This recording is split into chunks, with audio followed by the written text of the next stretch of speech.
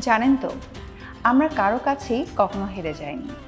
এবারও আমরা হারব না। করোনার বিরুদ্ধে আমরা একসাথে লড়ব। এগিয়ে নিয়ে যাব দেশটাকে।